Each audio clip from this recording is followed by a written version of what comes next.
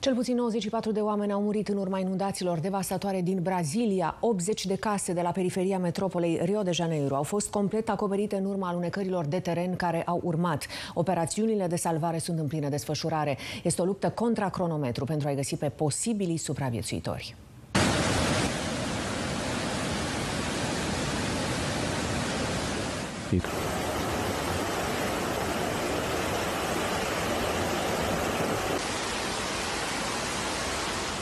Ploile torențiale din ultimele zile au adus dezastrul. Rețelele sociale abundă în filmări apocaliptice. Străzile orașului turistic Petropolis s-au transformat în adevărate râuri.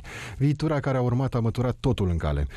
O imagine cu un câine care refuză să părăsească trupul neînsuflețit al stăpânului său a devenit virală pe internet. Gente do céu, olha a quantidade de barro que tá descendo. Meu Deus do céu. Filmările cu drona surprind adevărata amploare a catastrofei naturale, mașini răsturnate și case acoperite de munți de noroi. Salvatorii depun eforturi uriașe pentru a găsi eventual supraviețuitori.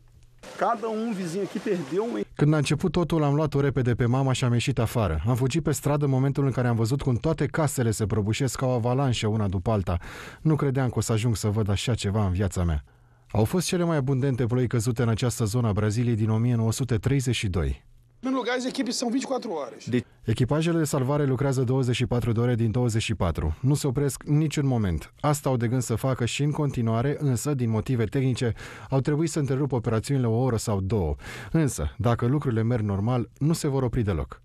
Primăria din Petropolis, localitatea cu cele mai multe victime, a decretat trei zile de doliu. Din Moscova, acolo unde întreprinde o vizită oficială, președintele brazilian Jair Bolsonaro a transmis condolențe familiilor care i-au pierdut pe cei dragi.